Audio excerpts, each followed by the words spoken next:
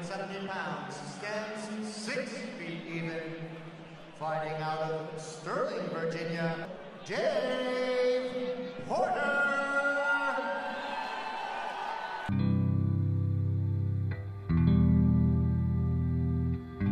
My name is David Porter. I'm 31 years old. I grew up in a, in a poor home, a poor community. I started training in martial arts when I was five years old in 1988. My mother was really big into the martial arts herself, and she thought that me, my brother, and my sister would all benefit from it. I was the target of a lot of abuse and uh, talked down to and picked on and bullied throughout my elementary school days, middle school, high school, and so I had to decide do I want to fight in school or do I want to fight on the way home from school? And every day was a struggle to get back home without a black eye. So martial arts showed me the tools that I needed to not be bullied, to not be the victim, to be aware of my surroundings and understand when I could be a target. So just the overall awareness and how I held myself and then the ability to also defend myself were the biggest components of why I stuck with martial arts into adulthood.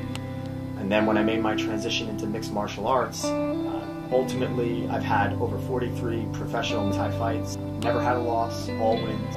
At one point or another, I decided that my pro fighting career was coming to an end.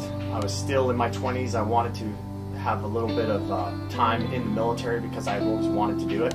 So before I aged out, I jumped into the Marine Corps, and this was in 2009. When I was serving overseas in the Marine Corps, I went to Afghanistan twice in the Helmand province, which is southern Afghanistan, known for being the most kinetic environment over there. My job was an 0311 infantryman, and my job was basically what you would think when you hear Marines overseas the, the door kickers, hooking and jabbing, shooting at bad guys, and so on and so forth.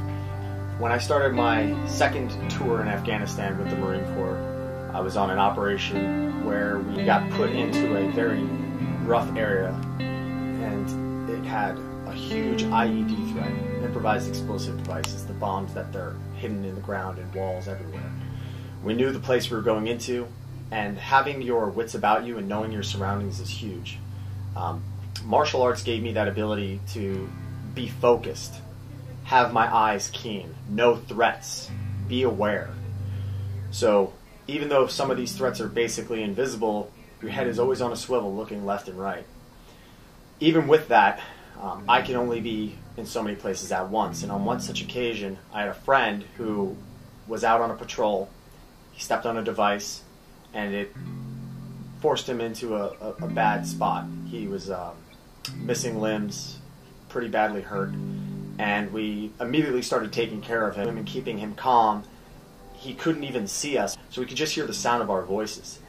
If you don't have a good control of your own um, enthusiasm or your own aggression or whatever it might be, whatever the situation is, you'll lose your cool. And in that particular situation, me having my cool was more important than anything else because I have to be responsible for this guy's life, not only in the treatment of it, but in keeping him from a higher state of shock. Subsequently, I've gotten an award for the actions I did over there, but I don't feel like I deserve them because, frankly, I wasn't going above and beyond the call of duty that day. It was more I was in a situation that I was the best person for that job and I wasn't going to not do what I had to do. I got out of the Marine Corps in 2012. So when you're in the Marine Corps, everything is very aggressive. Uh, you're, you're taught to be a very physical presence. Everything about you is just supposed to be oozing with machismo. Um, when I got out, obviously you're not going to scream at every individual person you meet and, and just spit coming out of your mouth every word you say and being very aggressive.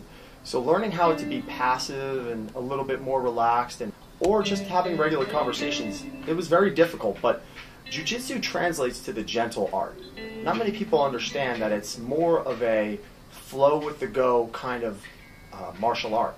You're not trying to force things against people. So when you're not trying to force things on people and you're learning to just go with a rhythm, it actually translates really well into your life too. I don't get mad when someone cuts me off on the street. I can't really control that. I'm not going to swipe back into them. That makes no sense. Instead, I'll just push my brakes and let them go ahead of me. Same thing was happening uh, all over my life just because of jujitsu. You have a very long shelf life with jujitsu, and I can see myself doing this for the next 20 years.